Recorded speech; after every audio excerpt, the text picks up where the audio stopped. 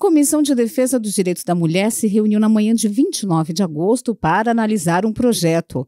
As vereadoras deram parecer favorável à proposta do vereador Tiago Surfista, do PSD, que proíbe a instalação, adequação e uso comum de banheiros e vestiários unissex em escolas públicas e particulares de Guarulhos.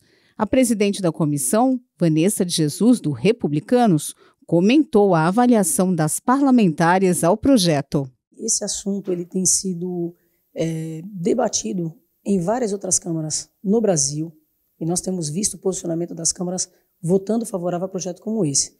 Nós entendemos que crianças ainda muito pequenininhas é, não têm é, o porquê nós temos um banheiro unissex para menino e para menina, nós não vemos isso como algo que acrescenta na infância da criança. Né? Já um pouco mais adulto, em se tratando de mais jovens, né? nós entendemos tantas coisas relacionadas aos abusos que no dia, dia acontece.